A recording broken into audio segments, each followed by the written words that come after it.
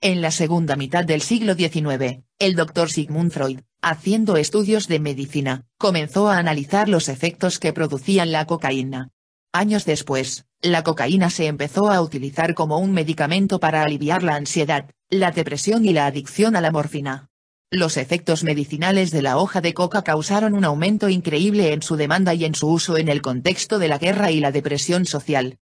En 1863, el químico y empresario francés Angelo Mariani inventó el vino Mariani, inmediatamente patentó su fórmula, la cual contenía 60 g de la mejor hoja de coca del Perú dejada en remojo durante 10 horas en un litro de vino de Burdeos. Pronto se convirtió en una de las bebidas más populares en toda Europa, quitaba dolores como el de la dispepsia y otras dolencias comunes. En una era de atraso de la medicina, los vinos medicinales fueron algunos de los remedios más comunes famosos y desconocidos, compraban muy a menudo el famoso vino, en algunas ocasiones, de acuerdo a su influencia social, lo recibían de forma gratuita.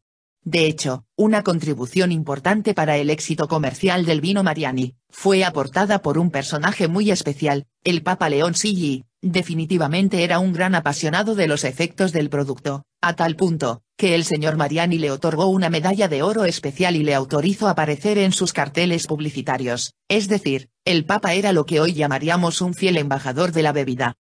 Entre 1870 y 1913, Mariani tenía, una gran variedad de clientes de todo el mundo, entre otros, a los 16 reyes y reinas de la época, desde el zar de Rusia hasta el príncipe de Gales y más de un millar de otras celebridades, incluidos, Sarah Bernard, Thomas Edison, Emile Zola Charles Gounod, Herbert George Weiss y el presidente de los Estados Unidos, William Kinley.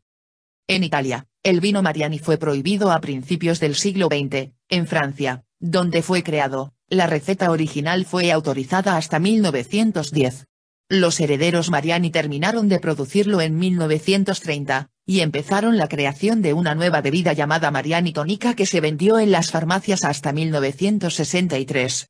Hoy en día, este vino se recuerda universalmente como la bebida inspiradora de la Coca-Cola, la cual, hasta 1906 tuvo entre sus ingredientes la cocaína.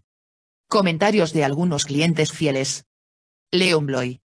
Estimado señor, he recibido tal ayuda de su vino en ocasión de mi última recaída, que le suplico que me envíe urgentemente un caja.